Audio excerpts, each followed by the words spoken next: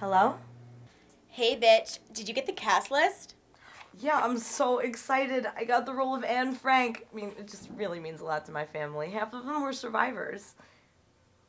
Oh, you didn't get the revised cast list? Wait, what? I'm Anne now. But you didn't even audition. I know. I was just walking down the hall and the director heard me doing one of those Jewy accents and she was just like, You are perfect. But I just called my bubbies so they could arrange for her to get out of the hospital to come see the show. She, she's my only legal guardian. Oh, your grandma's dead. She uh, lost control of her motor scooter or something and went into oncoming traffic. She died. Why wouldn't anyone tell me? I mean, I guess we just figured you'd be pretty bummed about the Anne thing and blah, blah, blah. But that's not the reason I'm calling. You are never going to believe what happened to me. Wait, wait, hold on. So basically, I was walking down the street humming that Kelly Clarkson song that's like always in my head. And guess who I bump into on the street? Who? Ryan Seacrest.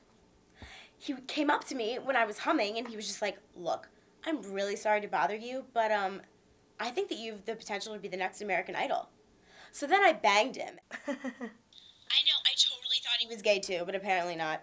Anyway, we go down to the auditions and Randy, Simon, and Paula were like, "Oh my god, you're it." So they told the thousands of people who had been waiting there for like days in the freezing cold to just leave. You were gonna audition for that, right?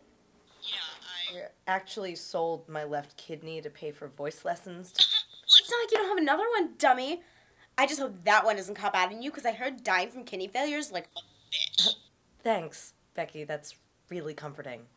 So Ryan flew me out to LA in his private jet to start recording my album ASAP.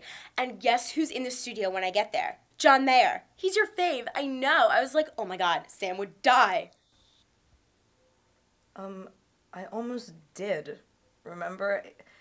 He was my one make a wish when I was in the hospital with leukemia as a child.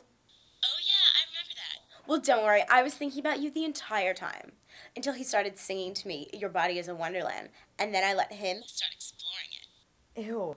Well, anyway, so then. Look, Becky, I have to go. I, I should probably go to my bubby's funeral or something. Don't be rude. I'm not even done my story yet. I didn't even get to the best part. no, seriously, shut the f up. Ugh. Some people can be so rude.